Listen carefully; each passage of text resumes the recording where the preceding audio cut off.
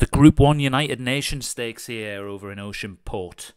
One mile and half a furlong to go for these three year old horses and up. Got Open Banker, Dan Hughes, Cabochon Posted, Steve Rann, November Rain trying to follow up on a mighty impressive debut for Craig Allen, Orezzo Tyne, David Hooley, Royal Forest, Jim Murray, Tajikistan, Paul Rhodes, Veloso, Darren Thompson, Wait and See, David Hooley, Alignment Tapestry, Leon Van Rensburg, Animation Parade, your favourite for Leon Van Rensburg, Tracy Chapman, Ryan Tamsebi, Inverted Appeal, Craig Allen, Legendary Pirate, Joshua Sutherland, your 2000 Guineas winner Royal Hangman, Jim Murray, Duchess of Waterloo, Paul Rhodes, Highland Maeve, Ryan Costello, Taishan Santani, Vinnie Gerard, and West Modest for Darren Thompson.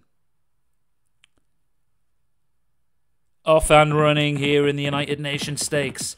Good clean break and its animation. The favourite that goes out and pokes its nose out uh, in the front early doors. But you can see Royal Hangman, the 2000 Guineas winner, going to try and do what it's done so impressively a couple of times this season. Firstly in the 2000 Guineas and then following up uh, over in Ireland to, to repeat the feat. So Jim Murray trying to get another Group 1 on the board with Royal Hangman, his star three year old miler uh, this season. So Veloso a couple of lengths behind that one in second place, and then there's a gap back to the chasing pack, currently headed by legendary Pirate. Tracy Chapman over towards the rail in the red and blue silks.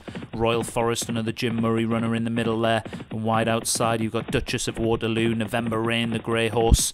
Uh, impressive on debut is there on the wide outside as well. Uh, animation Parade, sorry, the favourite is uh, in the blue silks coming down the centre of the track there. It was Alignment Tapestry another great miler from the Leon Van Rensburg stable that's in the same silks over towards the rail. So they start to swing left handed here on this tight track over in the US. It's Royal Hangman that has the lead. Tracy Chapman just in behind. She's won a Group 1 so far over in Australia. Can she follow up overseas with another big win here? Alignment Tapestries now move forward into second place. Cabochon posted in fourth place there and uh, has daylight. So they're into the home straight. Final furlong and a half. It looks like the winner's going to come from the front three. Royal Hangman challenged on the outside by Alignment Tapestry. Tracy, Tracy Chapman in behind them, but she has no racing room that one. And Royal Hangman now kicks clear again. And Alignment Tapestry and Tracy Chapman, their race looks ran. Royal Forest coming home with a flourish, but Royal Hangman holds on for Jim Murray. Gets another Group 1 on the board